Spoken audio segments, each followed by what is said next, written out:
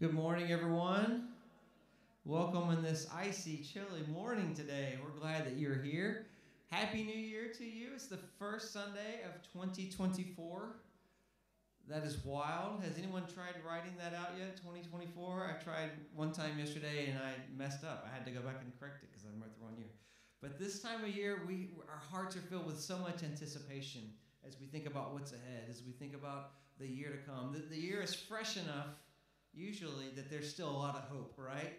Uh, anybody have hope for changing in dietary habits or spending habits? Anybody join a gym this week? I did. So, um, for many, this is the time of year when we consider there's just so much hope ahead of us, so much anticipation ahead of us. Um, so, or for many of us, maybe it's I want to be faithful to read through the Word this year, be faithful to be in the Scriptures throughout the year. There's just so much anticipation as we consider the special days, holidays, birthdays, anniversaries, special events. Uh, but I hope that we have this same kind of anticipation as we come into this place to worship today, as we spend time before the Lord. This morning, as usual, we're going to spend time singing, we're going to spend time in prayer, spend time taking communion together as the first Sunday of the year and interacting together in God's Word. And that's a lot of togethers doing that. And uh, none of us have it all together, but we're in this with one another, uh, supporting one another, encouraging one another, lifting one another up. We live life as ordinary people. We used to say this all the time. We live life as ordinary people together, but we serve an extraordinary God. And so uh, yesterday I was reading through Psalm 36 and in the middle of this passage, it really stuck out to me as I considered uh, this morning and, and, and the things we would be singing and praying. And Psalms uh, 35, verses 5 and 6 says this Lord, your faithful love reaches to heaven, your faithfulness to the clouds. Your righteousness is like the highest mountains, your judgments like the deepest sea. Lord, you preserve people and animals. The love of God is faithful, it never fails. Uh, while that's such a rich truth, what's just as amazing is that it also is limitless. It reaches to the heaven, that going up to the star. We can't really measure that. It is, it is limitless from the ground to the sky. And in the same way, his ways, not just his love, but his ways are so good and faithful that they also cannot be fully measured. Going into 2024, does your heart need to remember that? That His love is faithful, His ways are faithful. Was 2023 a year where maybe you felt like a boat out on the water, kind of tossed, battered by the waves, tossed by the wind? Uh, God's love is unchanging. His love is faithful and it is limitless. His ways are always faithful. Don't forget that his righteousness, his moral character, his justice, his perfection is like the strongest of mountains we heard there. It's immovable, it's firm. His righteousness is reliable. Even when our righteousness is far from reliable, it is worthy of building our life around. God's judgments, we just saw there, are like the deepest sea. His decisions, the way he goes about discerning things and acting, there has a depth to it that does not allow him to miss any detail doesn't allow him to overlook anything. He sees it all. His judgments and his decisions are worthy of us relying upon. Uh, the, the men and the women of our church the last week have been reading through uh, a, a, different Bible plan, the men and the women. But uh, for the men, and uh, we, we've been reading through starting at the beginning in Genesis and then a little bit in the New Testament. And, uh, and if you've not joined in that but would like to, there's still time. Don't worry, there's still time to jump in with that. But yesterday we read of Abram right before his name is changed to Abraham. And, uh, and God made some pretty bold promises to Abram, uh, to this elderly man by this point. This older gentleman who, with his wife, struggled with infertility, was promised by God that despite their many years in age, they would indeed have a legacy of descendants that numbered like the stars in the sky. And in Genesis 15 6, we read that uh, Abram believed the Lord, and it was credited to him as righteousness. The Lord's ways are just as good today as they were in Abram's day. His faithful love is just as rich to us today as it was when David penned these words so long ago. His judgments are just as deep. So, as we begin this morning, why don't we read aloud the next few verses of Psalm 36 together as our prayer as we start this time? Let this be the confession of your heart as we begin our time of worship. Let's read and pray together. Psalm 36, 7 to 9. How priceless your faithful love is, God. People take refuge in the shadow of your wings. They are filled from the abundance of your house. You let them drink from your refreshing stream. For the wellspring of life is with you. By means of your light, we see light. Amen. Let's stand this morning as we begin. Let's stand this morning as we begin.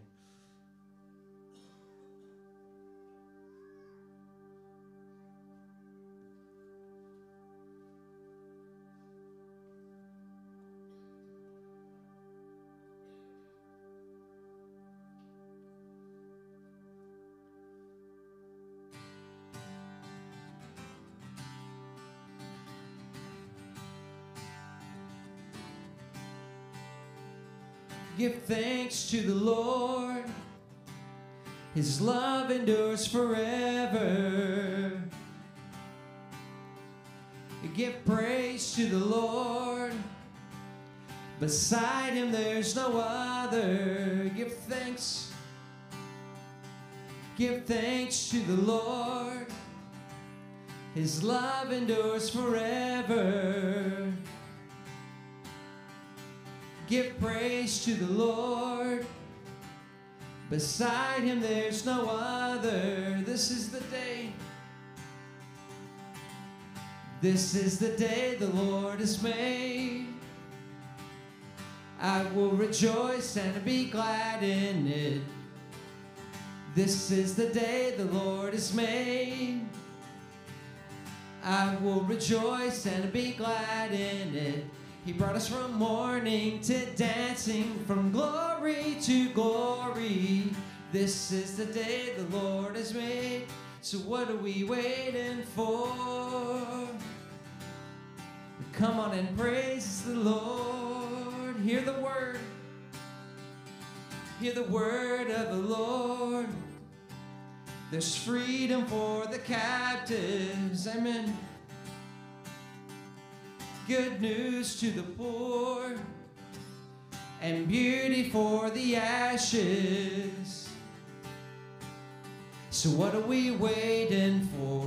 What are we waiting for? This is the day the Lord has made. I will rejoice and be glad in it. This is the day the Lord has made.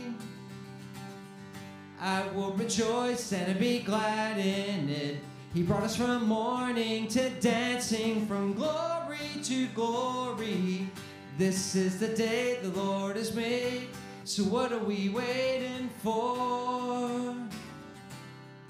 Come on and praise the Lord.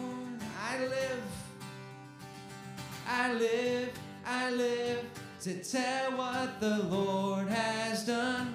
I live to sing of my Savior's love.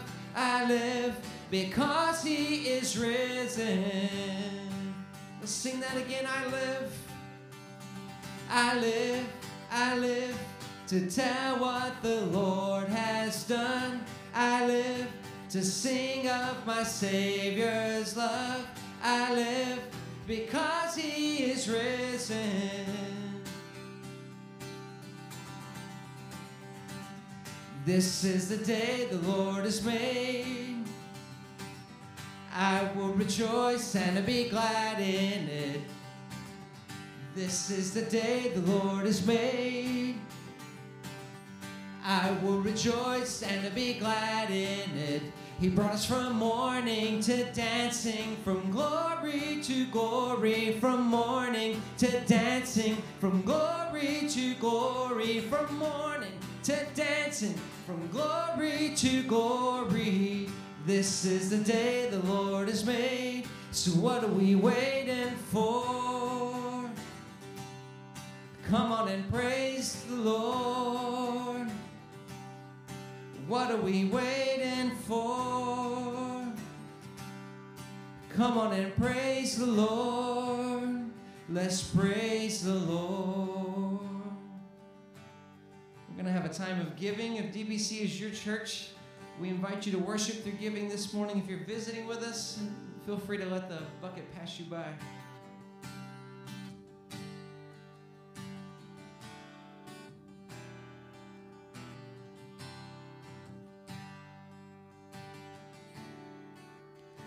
I count on one thing. The same God who never fails will not fail me now. You won't fail me now in the waiting. The same God who's never late is working all things out.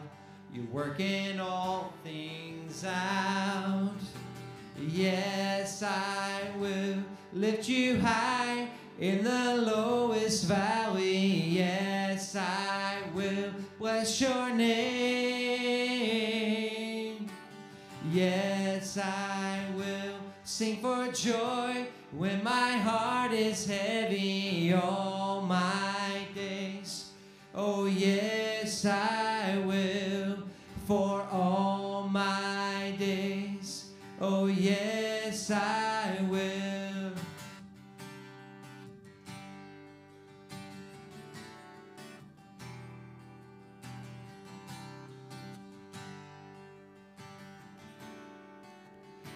I count on one thing. The same God who never fails will not fail me now. You won't fail me now in the waiting. The same God who's never late is working all things out. He's working all things out. Yes, I will lift you high in the lowest valley. Yes, I will bless your name. Yes, I will sing for joy when my heart is heavy all my days. Oh, yes, I will for all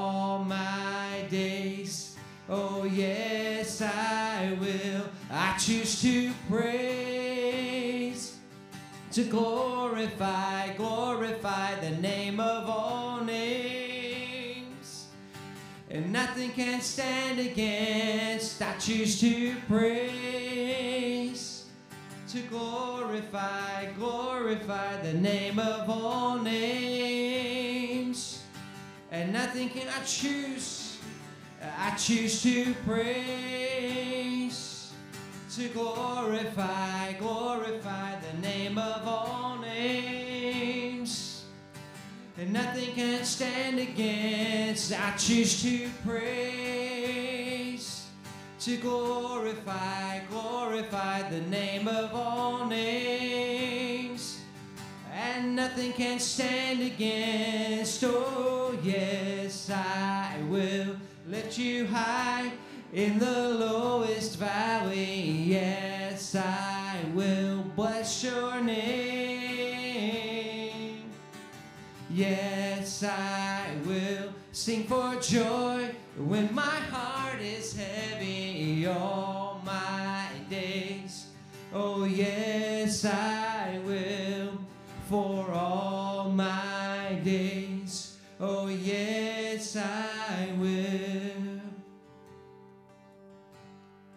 take a moment and just simply pray to the Lord those words over 2024 for your life.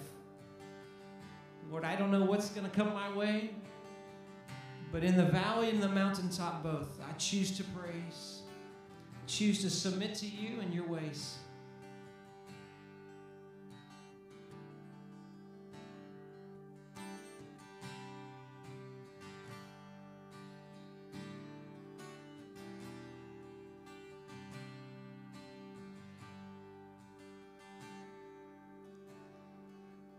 So yes, I will lift you high In the lowest valley, yes, I will bless your name. Yes, I will sing for joy when my heart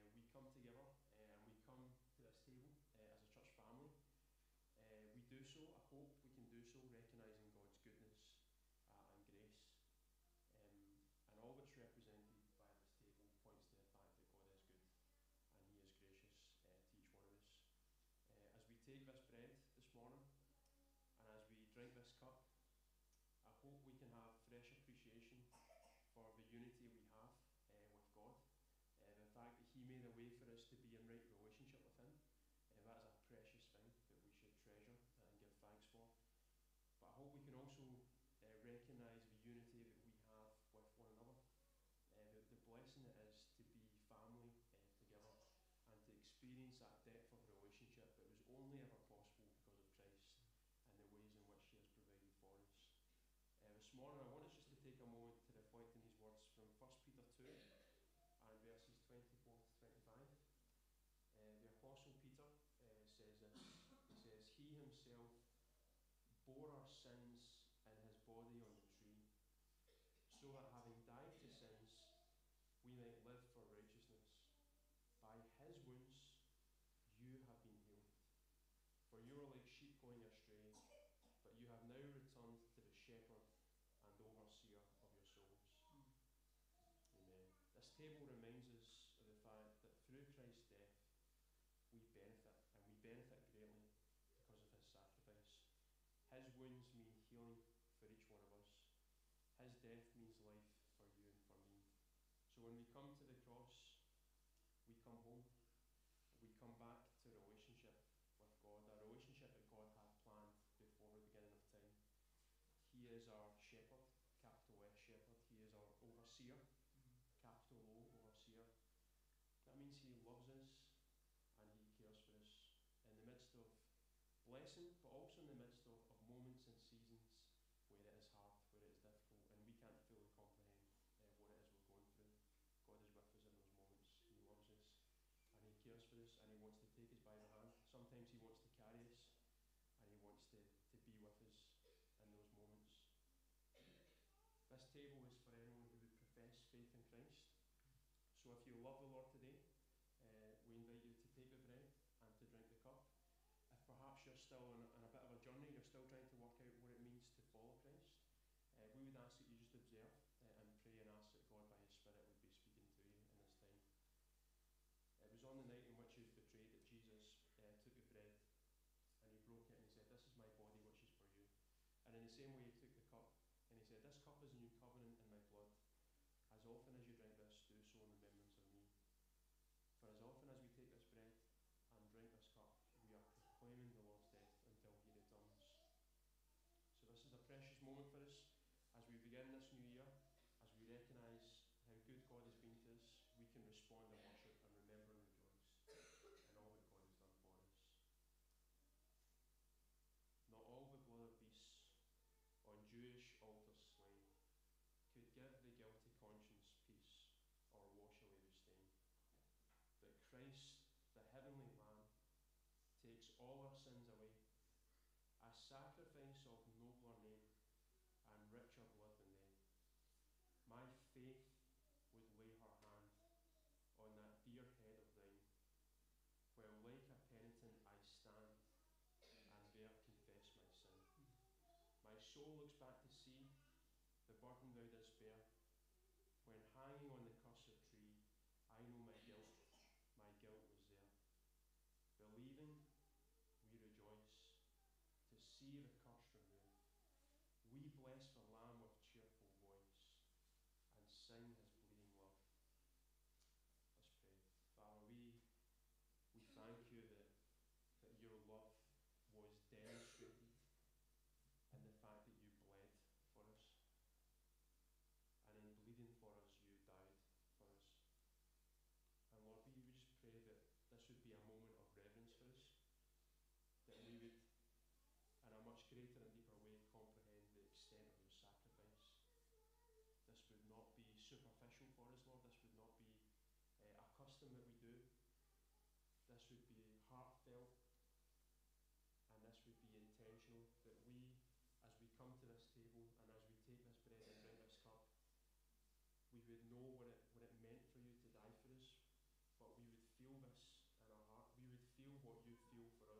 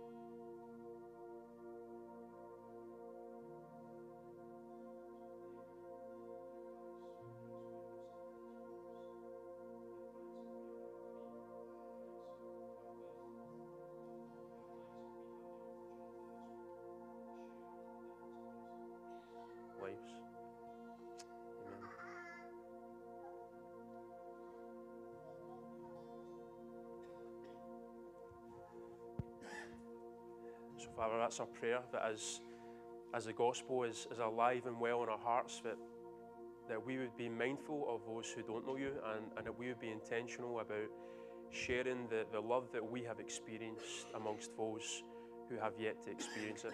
So, by your Spirit, would you lead us? Would you direct us to those who do not know you? And may they come to know of the hope they can have in you. In Jesus' name,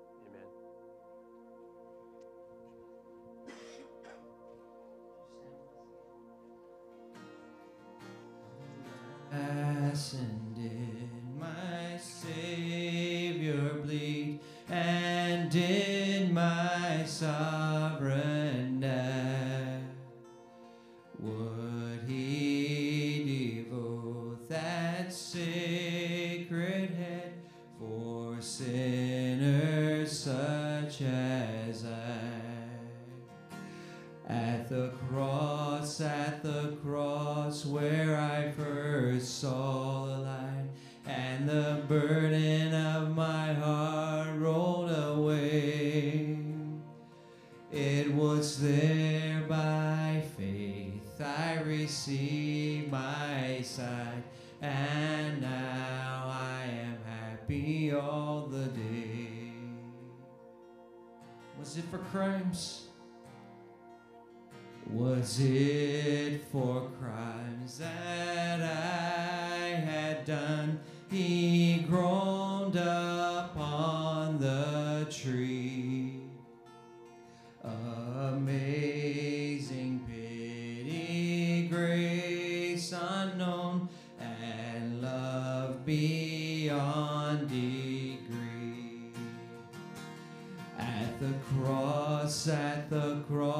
where I first saw the light, and the burden of my heart rolled away. It was there by faith I received my sight, and now I am happy all the day. But drops of grief can repay the debt of love I owe. Here, Lord, I give myself away. Tis all that I can do. At the cross, at the cross where I first saw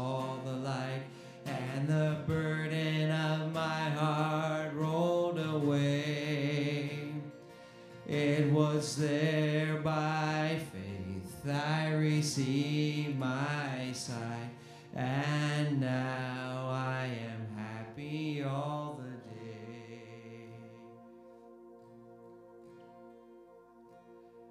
As I am chosen, not forsaken. I am who you say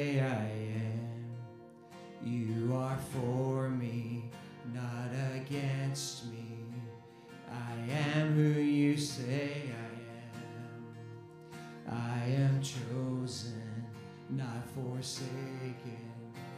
I am who you say I am.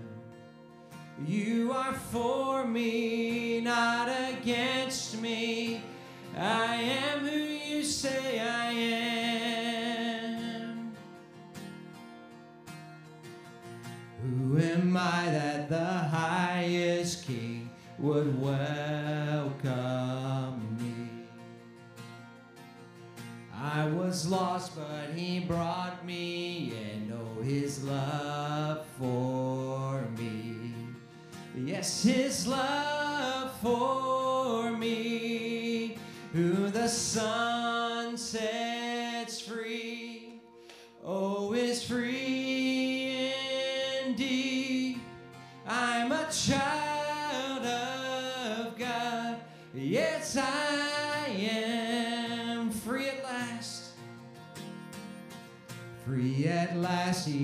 ransomed me.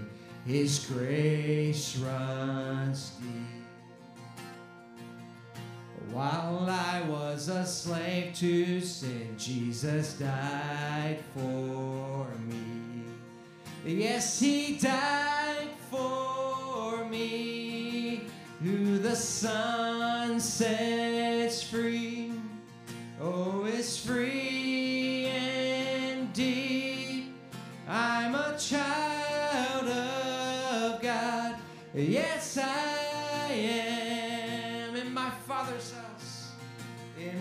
Father's house, there's a place for me. I'm a child of God. Yes, I am. I'm chosen. I am chosen, not forsaken. I am who you say I am. You are for me, not against me. I am who you say I am. I'm chosen, I am chosen, not forsaken. I am who you say I am. You are for me, not against me. I am who you say I am.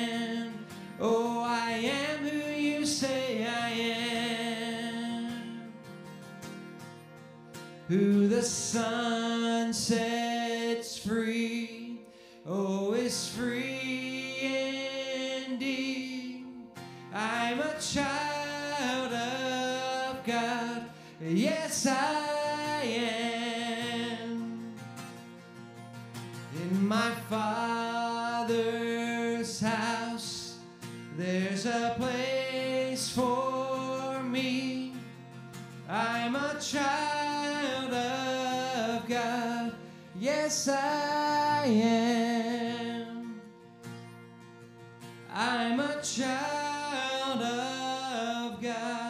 Yes, I am.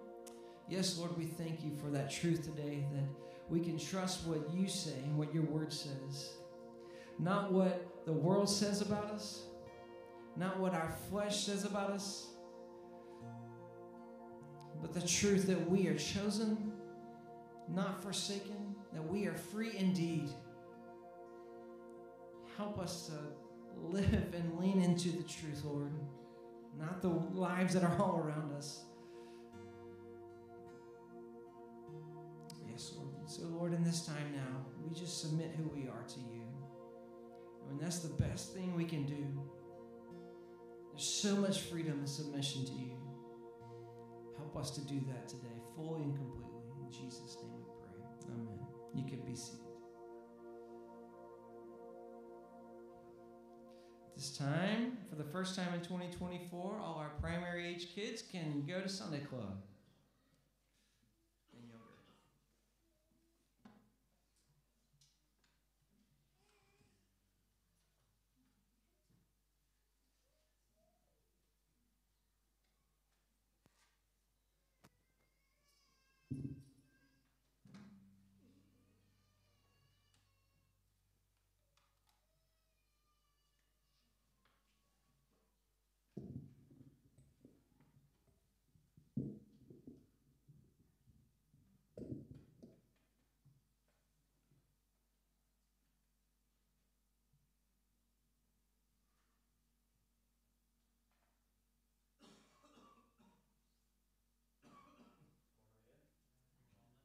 Uh, this morning, uh, before we, we move into a time in God's Word, uh, let me just make you aware of what's happening within the life of the church. And uh, our regular pattern of ministries is on, so things are kind of getting back to normal again. So our football's on tomorrow. Uh, our ESOL ministries are on uh, Tuesday and Wednesday. Uh, we're meeting together for prayer Tuesday and Friday, so Tuesday evening and Friday morning. Uh, missional communities are not on this week. I know it says up there, but we're not on this week. We're back on the following Thursday, which is 18th. Uh, just to remind us as well, there's no 4 p.m. service uh, in January. Uh, so if you have any questions about any of that, any of what's happening uh, this week, then do let us know. Do speak to us. Uh, this morning, I wanted us just to take some time to reflect uh, on a passage of scripture, and then we're going to move uh, into a time of prayer. Um, and we could be praying about all that's happening uh, this week as well. Uh, and I thought, based on, on our Bible reading plan for, for the guys anyway, uh, we're looking at Matthew chapter 5. Uh, we were looking at Matthew 5 a few days ago. Uh, and Matthew 5, uh, verses 13 to 16, uh, were really just words that, that really stood out for me. And, and often that happens when you read your Bible. You spend time in God's Word, and then just something just jumps out and hits you in the face. And Matthew 5, 13 to 16 was, was something that, that did that. And I've read this passage so many times, um, but in this particular instance, it was just a moment where uh, God was speaking, and uh, we can just take a moment to reflect on these words uh, and ask that God, by His Spirit, would, would really uh, prompt us to understand what it is He would want to say to us this morning. So, Matthew 5, Jesus says in verse 13, uh, You are the salt of the earth, but if the salt should lose its taste, how can it be made salty? It's no longer good for anything but to be thrown out and trampled under, under people's feet. You are the light of the world. A city situated on a hill cannot be hidden. No one lights a lamp and puts it under a basket, but rather on a lampstand, and it gives light for all who are in the house. In the same way, let your light shine before others, so that they may see your good works and give glory to your Father in heaven. Now, Jesus here uh, speaks about any one of us who, who has faith in Christ, he describes us as being salt and light. Salt and light. And his point is that we are to be a people, individually, collectively. We are to be a people who are different. Uh, we bring life and goodness and grace to this world because Christ has given us life, goodness, and grace from him. And as we move into a time of prayer this morning, I wanted us to begin by focusing on the fact that there are so many people we know who don't know Christ, and we can all provide a long list of people family, friends, neighbours, work colleagues. We all know of individuals who are far from God and who are pursuing a life separate from God. And the temptation for us is that we become spiritually numb to their plight um, we, can, we can be numb to their spiritual condition. We can be numb to their spiritual, des- spiritual destination. And we can just lose sight of, of what is going on in their life, but also lose sight of who God has called us to be, to be salt and light. And so, for you and I to be salt and light to them, we have to understand, first of all, who we are in Christ, what we just sang about a moment ago. Um, what God has given to each one of us. He has given us the resource and the, the courage and the boldness and the love to be a blessing to those who don't know Him. Uh, but more than that, I think we need to have a heart and a longing to see people come to faith uh, in Jesus. It's one thing knowing what God has blessed us with and who God has called us to be. It's a separate thing having a desire and a love and a longing for those who are far from Christ and the hope that they might come to experience what we have. So, as we begin this new year, I just simply want to pray and ask uh, that God would continue to change us, um, that we would feel what God feels. We would have a heart for what God has a heart for, in particular the lost. Uh, we would feel compelled, compelled in love and in worship uh, to reach those in our lives who are far from Christ in 2024. Uh, that this would be very much a, a spirit filled thing, that God's doing something in us, but it's also a spirit led thing. Uh, God would direct us to those who He is preparing beforehand to hear the gospel. Uh, and that's often what happens in mission. God will direct us to someone who He has already been working in. And as we have a word or a, a way in which we can bless and encourage, it was the right moment for us to do that. And God is using that moment to speak to them and to bring them to our knowledge of Him. That's my prayer. That's my prayer for, for Dennistoun Baptist in 2024. We would see salvations this year. We would see baptisms uh, through our faithful witness. Um, and it would be a God thing. It wouldn't be a Dennistoun Baptist Church thing. It would be God doing the work. So let, us take a moment to pray. As we look ahead to 2024, let's ask that God would do that work. Let's pray. So, Father, we, we thank you that your word is, is so clear. Uh, and there, there's no doubt in our minds about who it is you have called us to be. But Lord, we also recognise that that it is one thing us knowing what your word says. It's another thing then applying that uh, to our lives and to, to live in light of what your word says each and every day. But Lord, I pray that you would, you would bring conviction to our hearts. Lord, I, I pray that you would really just press in to our lives and, and really speak to us and, and really show uh, within uh, all that we are and all that we do and all that we prioritize, would you reveal to us the, the things which highlight that we are living for something else, something separate from who you have called us to be? And Lord, if there's any of that, we, we pray that as you convict us, that we would choose repentance and we would choose to live a life that says no to the things of this world and says yes to your plan and purpose. Uh, and Lord, we, we do want to be, deep down, we, we want to be a people who are salt and light within this community amongst our non believing friends and family. Uh, and we pray for every person we know who doesn't know you. But Lord, there's perhaps maybe one or two who are on our mind, fresh on our mind this morning. We know they don't know you, and we long to see them come to faith this year. And Lord, we just take a moment to remember them.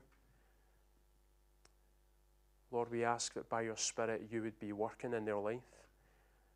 And Lord, I pray that we would have the boldness to be Christ to them, to bless them, to encourage them but also to give reason for the hope that we have. So, Lord, would you guide us this year as we seek to be Christ to these individuals and many others? Lord, we know that this has to start with our hearts. You have to change us from the inside out.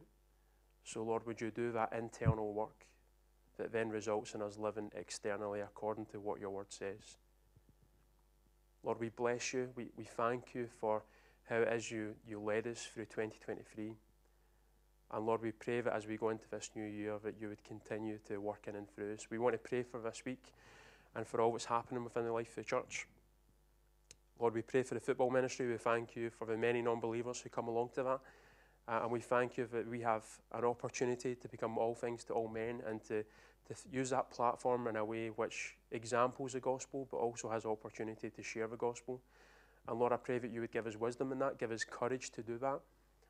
Uh, convict us of the, the moments where we have not done that. And I pray, Lord, that you would direct us in a way that results in salvation amongst the guys at the football. Lord, we pray for our ESOL ministries on Tuesday and Wednesday. We thank you for how you led that through 2023. We thank you for the team and, and we pray for them, Lord. We pray that you would equip them this new year. And Lord, we ask that the learners would not only learn English, but they would come to a fresh knowledge of you. It would not just be a, a word, it would be power. It would be the power of your Holy Spirit transforming their lives and bringing them to a knowledge of you. And we pray for this week, Lord, we pray your hand would be upon it. We pray that you would bless all that happens in ESOL. Lord, we want to pray for our kids, uh, and we thank you for each and every child who, who is a part of our church. And they are such a gift, they are so precious to us. And Lord, we, we pray that you would bless them right now. We pray that they would have seeds planted in their hearts and minds that results in them coming to a knowledge of you in a much deeper way. We pray that today, right now, as, as we sit here. But we also pray that for 2024. We pray that the kids would come to a deeper knowledge of you through the faithful ministry of, of the Sunday Club team. And we thank you for the Sunday Club team. And we thank you for everyone who's involved in that. And, and we ask that you would give them fresh energy and strength as they serve in such a vital and essential way within the life of the church. So, Lord, as we as we take time now just to to look at your word and to to spend time um, focusing on what it means to be to experience freedom, uh, Lord, we, we pray that you would guide our time, and we pray that this would be a work of your Spirit through your word. It would be nothing of me, it would be all of you, and that we would be anointed. You would anoint me as I speak but you would also anoint everyone here um, that they would be open and receptive to what it is you have to say to them. So bless us and be with us as we journey through 2 Corinthians 10 and as we understand what it means for us today. In Jesus' name, amen. Okay, so uh, this morning we, as I said, we begin a new sermon series uh, titled Freedom in Christ, which is going to cover the month of January.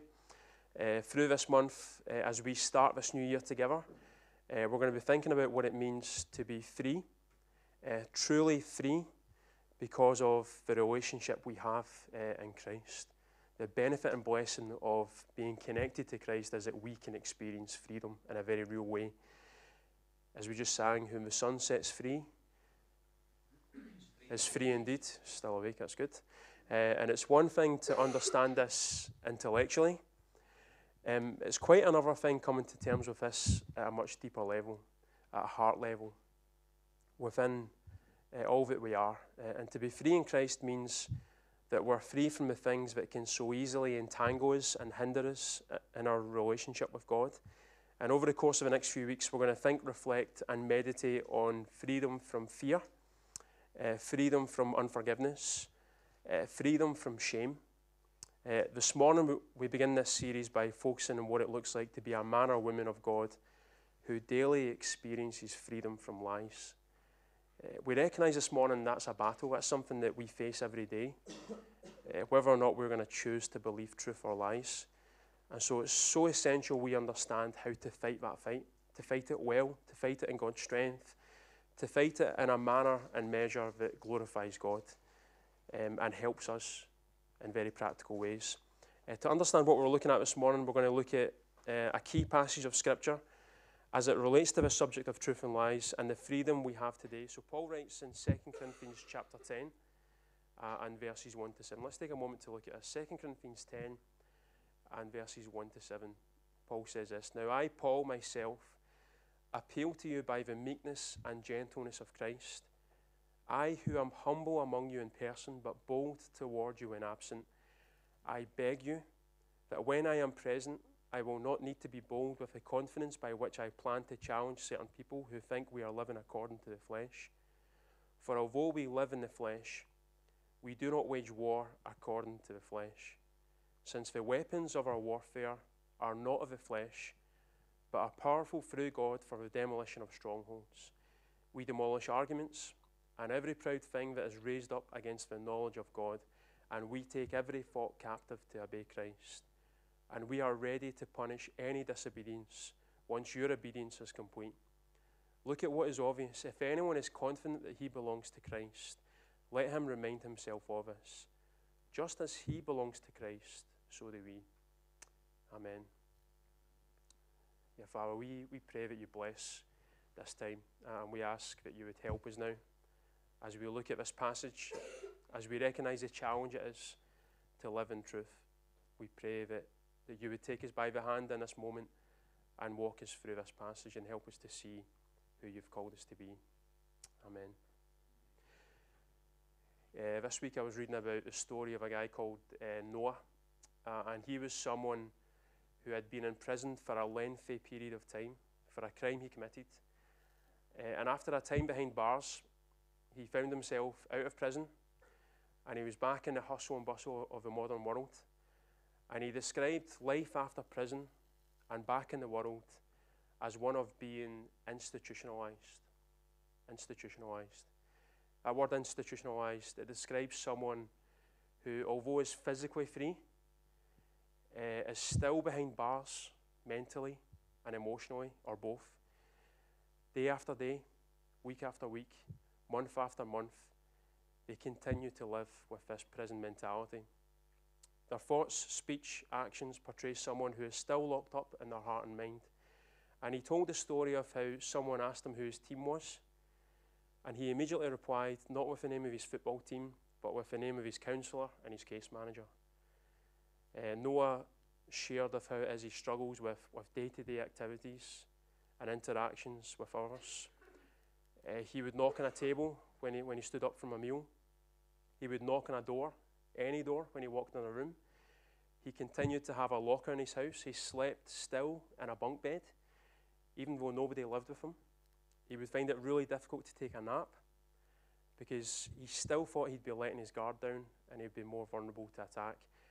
And he was a clean freak. He wasn't before prison, he was now. Uh, his experience in prison meant he was constantly cleaning his home. For Noah, he was physically free but in his heart and mind, he was still bound up uh, in prison. Something similar uh, can happen in our lives, uh, and particularly with regards to, to who we were and who we now are. Uh, whether you like this or not, the reality is that before Christ, you were in prison, you were in spiritual chains, you were in a spiritual cell, you were unable to break free from these chains and from this prison. Your life was controlled and governed by sin and selfishness. You thought, spoke, and acted in a manner that was completely against God. Everything of who you were was in direct opposition to the plan and purpose that God had for you. And there was nothing you could do, nothing you could do to change that reality. And something happened. Um, as you, as Jesus says in John chapter eight, uh, those who sin are what they are a slave to sin. So this had complete mastery over every single one of us, and all of us changed. All of us changed when Christ entered into your life. He invaded your prison cell. Amen. He broke your chains. He set you free. And as Paul says in Galatians 5:1, for freedom, Christ has set you free. In other words, the work of Christ for you means that today you are by definition free because of Christ. You are free, completely free, not partially free, completely free. And because of this freedom, you're now free to love Him, you're free to live for Him, you're free to glorify Him. The prison clothes are off, the garments of righteousness are now on, and that's good news. Is that not good news in 2024? But in much the same way, we can also be spiritually institutionalized. Um, whilst this is the best news we could ever receive, and we can be free, the reality is the memory of our old prison days still linger. The smell of our, of our old prison clothes can stick, and to such an extent that we can find ourselves going back to our old life uh, in the flesh.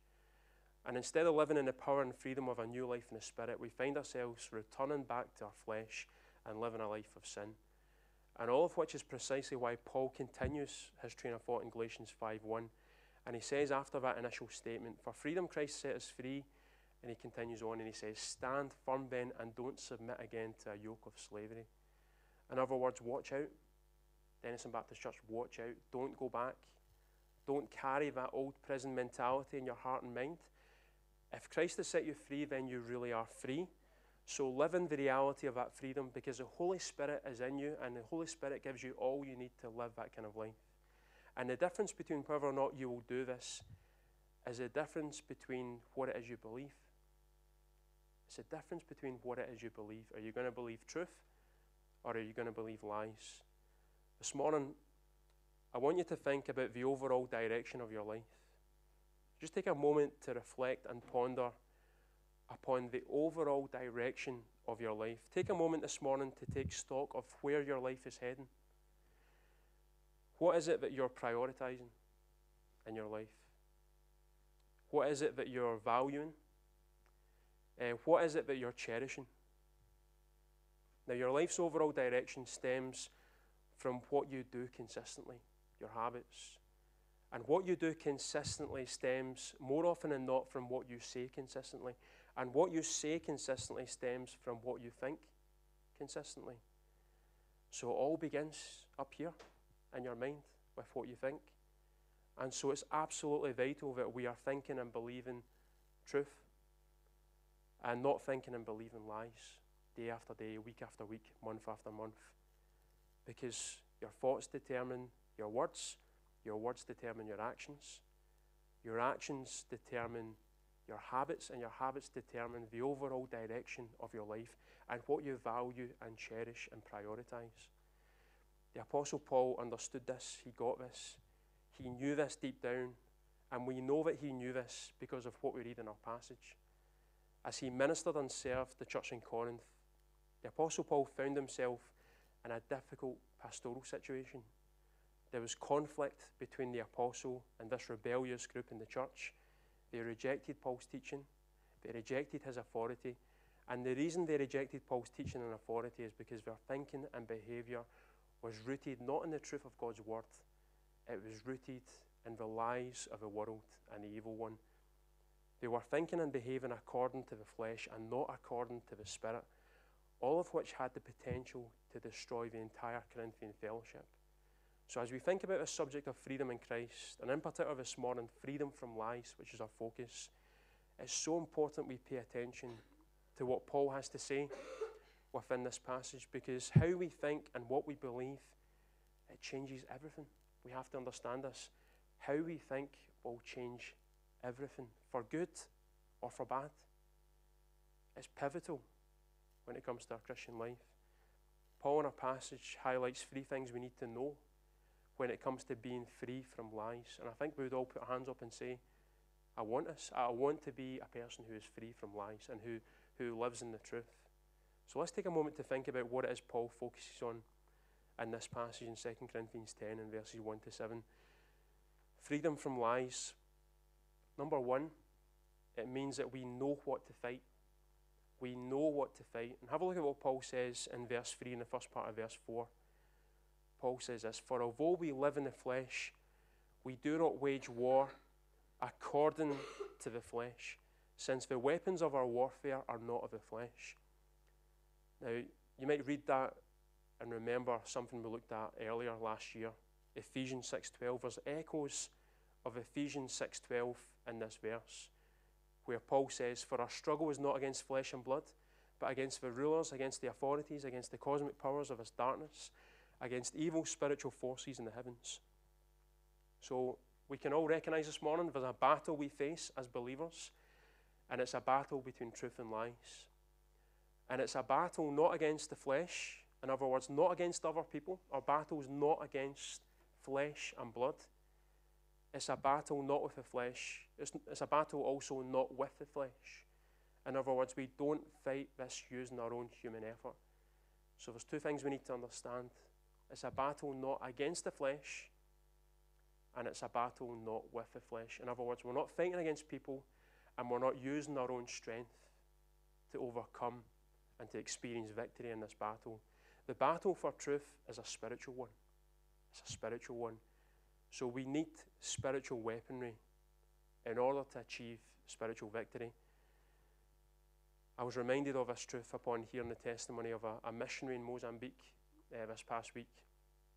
And if any of you know anything about Mozambique, uh, you'll know it's, it's extremely poor and it's also under regular attack from the Sunni terrorist group Al Shabaab.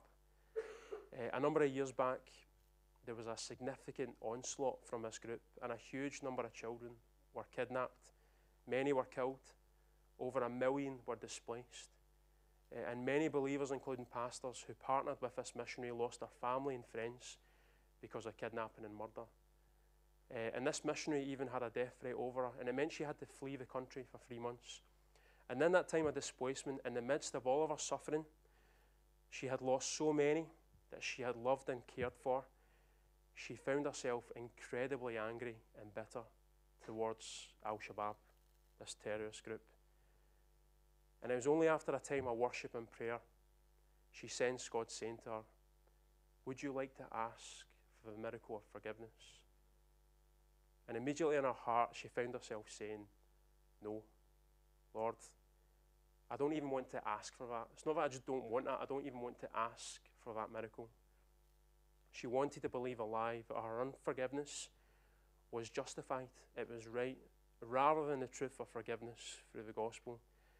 And as she was making these excuses to remain in a place of unforgiveness, she started to realize that none of, these excu- none of these excuses washed, none of them added up in light of what Christ had done for her. And so she prayed, Okay, Lord, change my heart, change me. She prayed that prayer, and then she had a picture of these terrorists. But instead of terrorists, she saw them as little boys, similar to the boys that she adopted. And she saw them helpless. She saw them in the dirt. She saw them dressed in rags. She started to see how they had been groomed from little boys into terrorists. And she saw that whilst they were responsible for all of these atrocities, God in Christ, through the gospel, was enough. He was enough to forgive them, and He was enough to transform them. She came back home to Mozambique after a few months, and she soon realized that God had also been working in the pastors that she was, she was partnering with. These pastors had lost their spouses, their churches, their own children, their friends, and yet God had also, God had also given them this miracle of forgiveness. These pastors, instead of bitterness, rage, and anger, they all chose to walk in mercy, love, and forgiveness towards Al Shabaab, as did she. And get this such was the power of what God had done amongst these missionaries and these pastors that some of the Al Shabaab terrorists gave their life to the Lord. God was doing a work in them, and it resulted in some of these terrorists coming to faith in Christ. Now, in what ways, Dennistoun Baptist Church, in what ways does this relate to living a life that is truly free from lies? Well, for a time, this missionary and these pastors believed a lie, and it was a lie that they were justified in feeling hatred and bitterness and unforgiveness towards Al Shabaab.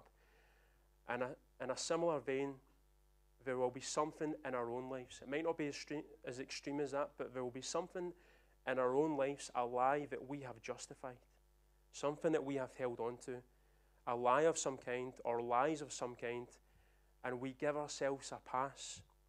We think that to carry this in our hearts is okay.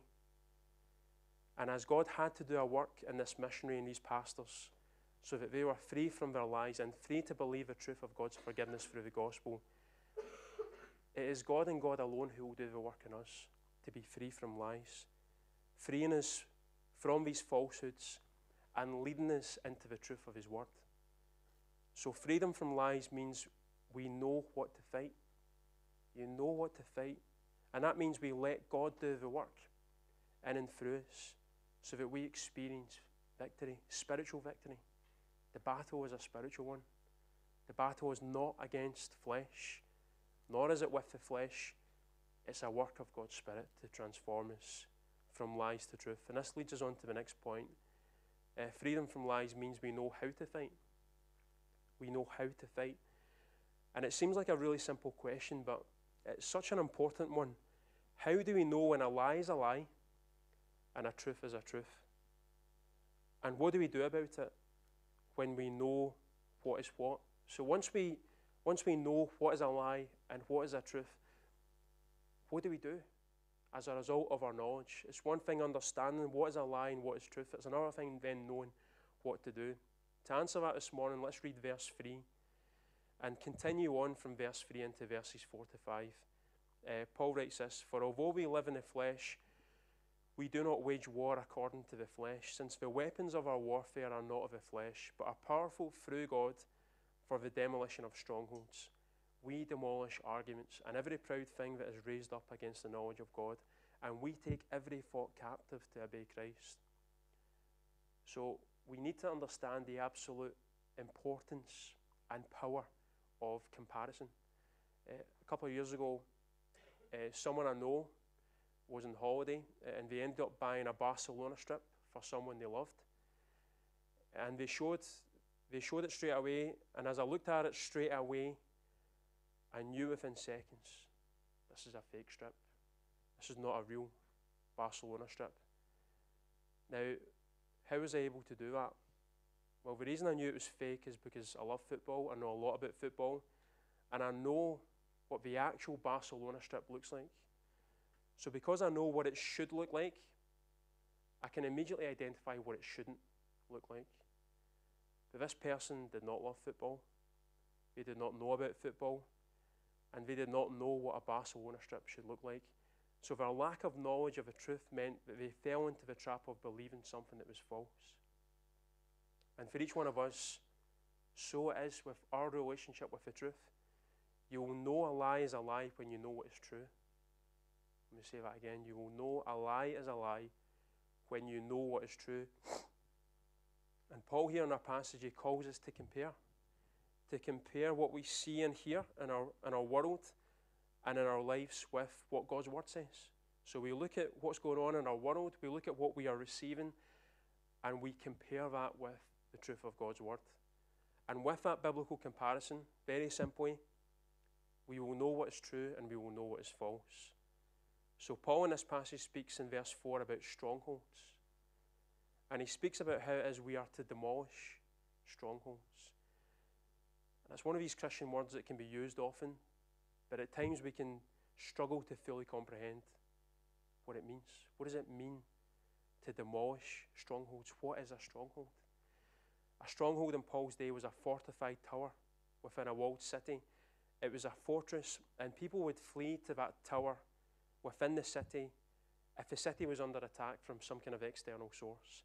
Despite what was happening within the city, the stronghold more often than not would remain. It was consistent despite of the change surrounding it. And when Paul here speaks about strongholds in our lives, he's speaking about what he describes at the end of verse 4 and 5. So these strongholds, these are arguments and every proud thing that is raised up against the knowledge of God. In other words, these are statements and ideas that do not match up with what God's word says. And if by nature they are strongholds, it's not just that they're false, they're also difficult to shift. These are, these are falsehoods and lies that are deeply embedded in our hearts and our minds, and we're finding it really hard to break free from these lies. They're like a fortified tower that sits within us and remains in us. No matter what changes our circumstances might bring, often these lies can remain consistent. In times of blessing, in times of hardship, we still carry these strongholds, these lies, these falsehoods. And Paul says in our passage that not only can we identify with these strongholds, what these strongholds are, so we can know by comparison what these strongholds are, as we compare them to biblical truth and see their persistence in our lives, Paul says we have the power to demolish them. We have the power to demolish strongholds. It's good news. Is that good news for every single one of us today? They no longer have to have a hold over our lives because in Christ, we have the power in Christ to destroy them completely. And Paul goes as far as to say that, that we can take every thought captive to obey Christ. Instead of us being, being in prison, we can put our thoughts in prison to obey and submit and surrender to Christ. And that's an incredible image. Every thought that goes through our minds, we have to assess and test, and we have to make our thoughts submit to Christ. So we need to ask the question of our entire life. And every thought we have, we need to ask the question is this biblical? Is what I'm thinking right now biblical? Does it honor Christ? Does this thought or these thoughts, do they glorify Christ? Do they magnify Christ? Do they bring encouragement or discouragement?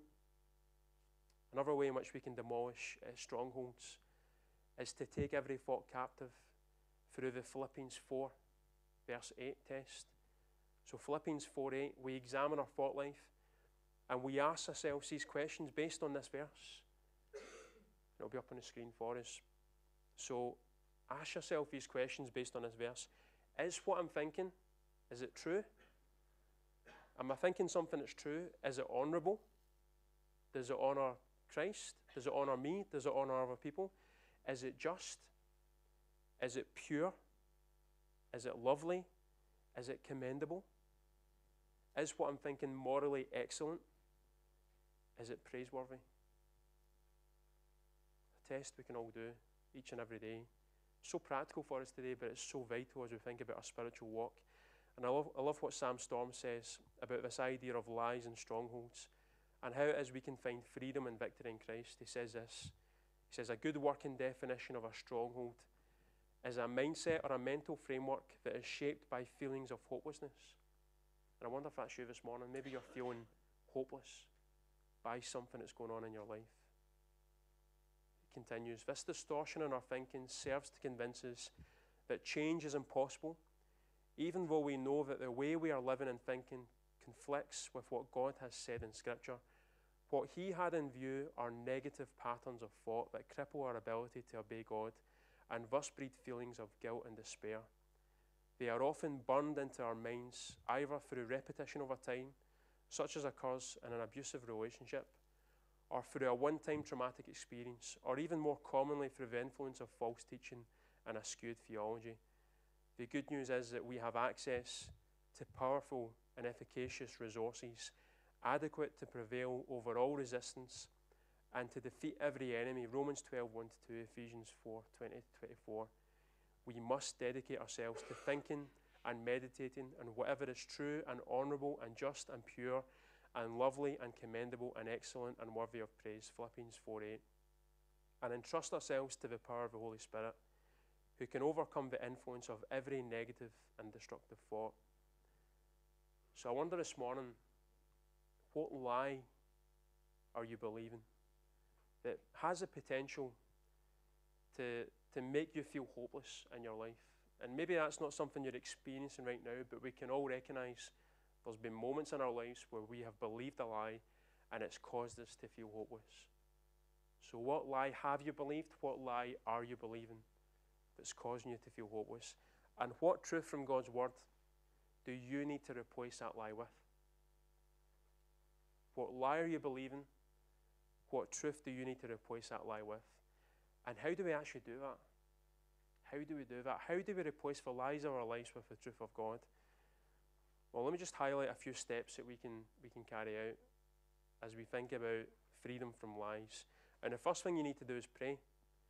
You need to ask God to reveal to you the lies that you're believing that are contrary to His Word. It takes a work of His Spirit to reveal that. And as you do that, God will make clear through prayer and in His Word what lies and even what strongholds are governing your life. And as you identify what lies and strongholds are having an influence over your life, search the scriptures. Take some time to, to study what God's word says and find what the counter truth is to that particular lie that you're believing. And as you identify the lie and as you identify the biblical truth, I would encourage you to literally write it out in a sentence. Get a journal, get a piece of paper, and just write something like this I reject the lie that, and then whatever the lie is, write it out in detail. Write whatever that lie is, and then literally write out in a sentence something like this I embrace the truth that. And write out in detail a verse or a passage that replaces that lie, that is in, in contrast and conflict with the lie. And the last part's the most important. Preach that to yourself. Don't just write it out. Preach to yourself. Preach what you've rejected. Preach what you've now embraced. And keep doing it again and again and again, every single day, consistently, until your heart and mind start to change. And what you'll find is that your heart and mind will start to change. Praise God. There is power in His Word and it will change us. You will demolish arguments and every proud thing that is raised up against the knowledge of God. It is possible. I can say it's possible this morning because that's my testimony. Lies that I believed, using this pattern, this format, and seeing how the lies I believed were destroyed and diminished, demolished, because I replaced that lie with biblical truth. I took every thought captive to obey Christ I've been able to do this in the past. I continue to do this in the present. And I encourage each one of us this morning to do that in 2024. You will change your heart and mind, which will change your words, which will change your actions, which will change the direction of your life. You will know that whom the Son sets free is free indeed, because you will experience that freedom in a very clear and tangible way. That's the promise. That's what it looks like to be free from lies. This is how we experience freedom from lies. We use the Word of God as a sword against the, the trickery and deceptions of the enemy. And it brings us on to the final point. The final thing we need to know as we think about having freedom from lies. And number three, freedom from lies means that we know who fights for us, who fights with us. We made a similar point last Sunday, and it's something I believe that God just wants to reinforce again and again. And if we hone in in verse 7 of our passage, the final verse, we need to take heed of what it is that Paul says here. He writes, Look at what is obvious. If anyone is confident that he belongs to Christ, let him remind himself of this. In other words, preach to yourself that you belong to Christ. Just as he belongs to Christ, so do we. So this morning, if you're in Christ, then the truth of the matter is that you belong to Christ. And we often fail to comprehend the significance of that statement. But just take a moment to take stock that you belong. You belong to Christ, meaning that God is with you, God is for you, and God is fighting your fight. He is fighting your battle. So that means that we have all that we need to experience freedom from lies. All that we need. As we close this morning, I'm conscious of the fact that, that maybe you're not sure. Maybe you're still doubting in your mind that God is with you, God is for you, and God fights for you every single day. And maybe you're in a place this morning where you're doubting the, the goodness and the grace of God in your life. And that's a very real challenge for us. I'm not going to stand here and say that I've never experienced that because that is a battle for me on a regular basis. And it's something that we can experience from time to time. We start to doubt the goodness and grace of God. And sometimes it can happen in the most unexpected of moments as well. Um, things are going well, and then suddenly we just have doubt in our hearts and minds. And as we close, what I'm going to do is, is read some biblical statements of who you are in Christ. And we're just going to take our time. I'm just going to read these. They're going to be up on the screen. And as I do that, I'm going to ask you to pay attention to your own heart and mind. Pay attention to the screen, but pay attention to what's going on in your own heart and mind. And really just discern through the Holy Spirit what is going on inside as you hear these statements. How is your spirit responding? Are you receiving these wholeheartedly? Or do you find yourself pushing back a wee bit? Is there something within you that as you hear this biblical statement, which is true, do you find yourself pushing back in some way? And if there are any that you're pushing back on, I want you just to take a mental note or even take an actual note. You can do that as well. Write down which ones you are resisting within your spirit. So there's 42 of them. So brace yourself. Here goes. First, let me just pray first. So, Father, we just pray that you would use this moment, um, that you would you would direct our hearts and minds to, to what is going on in, in our hearts and minds. You would help us to see uh, what it is we have wholeheartedly embraced and what we have wholeheartedly or partially rejected. So, by your Spirit, would you guide us and lead us? In Jesus' name, amen. So, here we go. You are a child of God, John 1:12. You are a branch of a true vine and a channel of Christ's life, John 15, 1 and 5. You are a friend of Jesus, John 15, 15. You have been justified and redeemed, Romans 3:24. Your old self was crucified with Christ, and you are no longer a slave to sin, Romans 6, 6. You will not be condemned by God, Romans 8, 1. You have been set free from the law of sin and death, Romans 8, 2. As a child of God, you are a fellow heir with Christ, Romans 8, 17. You have been accepted by Christ, Romans 15, 7. You have been called to be a saint, 1 Corinthians 1, 2, Ephesians 1, 1, Philippians 1, 1, Colossians 1, 2. In Christ Jesus, you have wisdom, righteousness, sanctification, and redemption. 1 Corinthians 1:30. Your body is a temple of the Holy Spirit who dwells within you. 1 Corinthians 3:16, 6:19. You are joined to the Lord, and you are one spirit with him. 1 Corinthians 6:17. God leads you in the triumph and knowledge of Christ. 2 Corinthians 2:14. The hardening of your mind has been removed in Christ. 2 Corinthians 3:14. You are a new creation in Christ. 2 Corinthians 5:17. You have become the righteousness of God in Christ. 2 Corinthians 5:21. You have been made one with all who are in Christ Jesus. Galatians 3:28. You are no longer a slave, but a child and an heir. Galatians 4:7. You have been set free in Christ. Galatians 5:1. You have been blessed with every spiritual blessing in the heavenly places. Ephesians 1 3. You are chosen, holy, and blameless before God.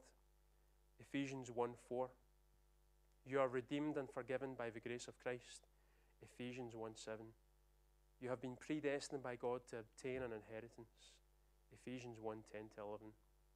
You have been sealed with the Holy Spirit of promise. Ephesians 1:13. Because of God's mercy and love, you have been made alive with Christ. Ephesians 2:45. You are seated in the heavenly places with Christ. Ephesians 2:6. You are God's workmanship, created to produce good works. Ephesians 2:10. You have been brought near to God by the blood of Christ. Ephesians 2:13. You are a member of Christ's body and a partaker of his promise. Ephesians 3 6, 5, 30. You have boldness and confident access to God through faith in Christ. Ephesians 3:12. Your new self is righteous and holy. Ephesians 4:24. You were formerly darkness, but now you are light in the Lord. Ephesians 5:8. You are a citizen of heaven. Philippians 3:20. The peace of God guards your heart and mind. Philippians 4 7. God supplies all your needs. Philippians 4:19. You have been made complete in Christ. Colossians 2:10. You have been raised up with Christ. Colossians 3:1. Your life is hidden with Christ in God. Colossians 3:3. Christ is your life, and you will be revealed with him in glory. Colossians 3:4. You have been chosen of God, and you are holy and beloved. Colossians 3:12. God loves you and has chosen you. 1 Thessalonians 1 4. Amen. Now, if there are any, if there's any of these statements that you found yourself pushing back on, there is a strong possibility that you have believed an opposite idea, a lie. And there's a strong possibility that as you found yourself pushing back to that biblical truth, that this is in fact a stronghold in your life. And as your elders, as your shepherds, overseers, TJ and I would like to pray for you. If that's you, if you find yourself pushing back in some way to something I've just read, we would like to pray for you at some point, either today, this week, ne- next week. What we would say is don't put it off. If you have and are believing a lie, then take the opportunity to be prayed for. And take the opportunity this week to meditate on God's Word and ask that God, by His Spirit, would change your thinking, which would change your life. Because there's nothing more important than experiencing freedom from lies as you experience freedom in Christ. That's my simple call uh, for us this Sunday and as we go into 2024. So let's pray together and we're going to respond in worship. Father, we, we thank you for just the ways in, in which uh, we are abundantly blessed, and we have just seen so many ways in which we are blessed. And Lord, we recognize that every day is, is a battle and a fight, and, and we pray that, that you would you would just continue to, to work in us so that we have strength for the fight, but we would also have confidence of the victory. That you would identify the ways uh, in which we need to, to fight for your glory and for our good and it would be a work of your Spirit as we meditate and rest in your word. Help us to be a people who are free from lies and who live in the truth because of all that you have done for us in Christ. In Jesus' name, amen. Love you guys.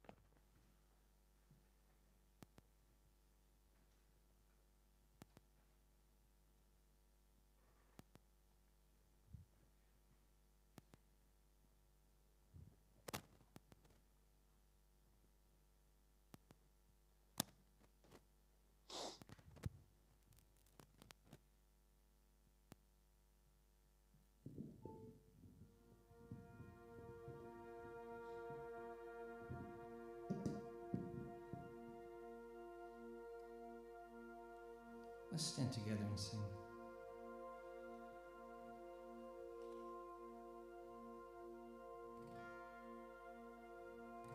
Cause I'm fighting a battle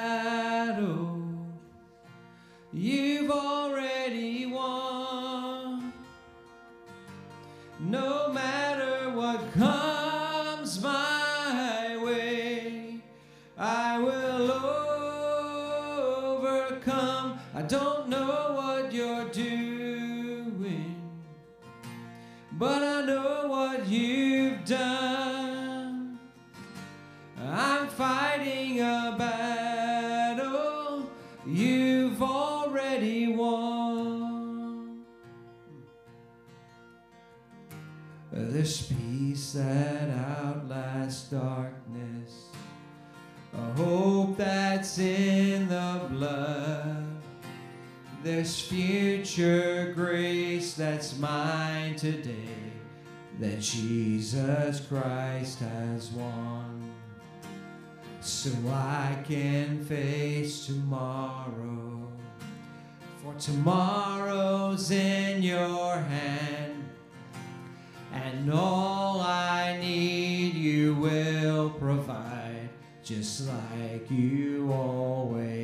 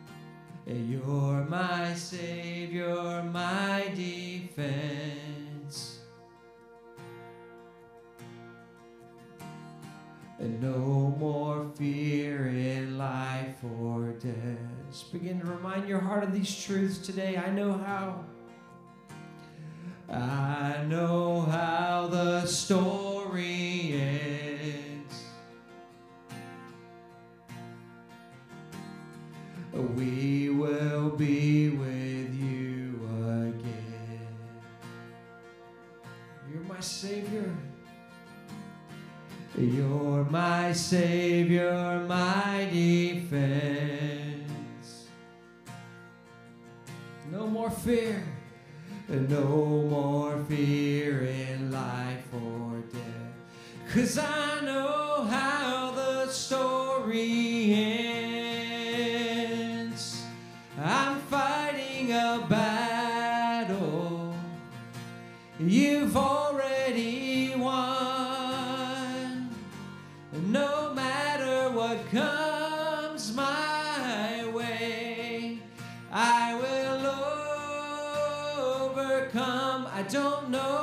you're doing, but I know what you've done. I'm fighting a battle you've already won. So when I fight, I'll fight on my knees with my hands lifted high. Oh God, the battle belongs to you, and every fear I lay at your feet. I'll sing through the night. Oh God, the battle belongs to you.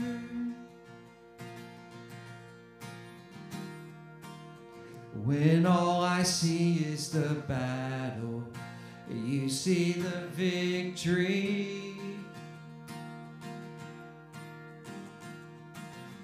When all I see is the mountain, you see a mountain move.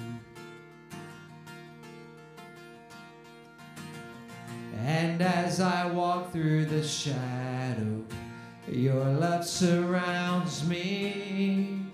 There's nothing to fear. There's nothing to fear now, for I am safe with you. So when I fight, I'll fight on my knees with my hands lifted high. Oh God, the battle belongs to you. Every fear I lay at your feet. I'll sing through the night. Oh God, the battle belongs to you. If you're for me, and if you are for me, who can be against me?